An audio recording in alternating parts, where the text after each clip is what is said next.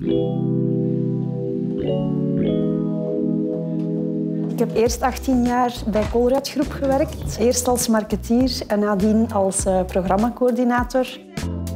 Ik heb dan de overstap naar het onderwijs gemaakt omdat ik eigenlijk uh, al van kleins af droomde om juf te worden, maar dat ik het in het begin uh, niet aandurfde om die studies te beginnen, omwille van de stages eigenlijk. Maar ja, omdat het toch zo hard kriebelde en ik de 40 naderde, heb ik dan toch beslist om loopbaanonderbreking te nemen en te starten met de studies. Dus nadat ik beslist had om toch mijn droom waar te maken, ben ik dan eens naar een infoavond geweest. En dan zag ik dat het mogelijk was om op afstandsonderwijs een verkort traject te volgen eigenlijk.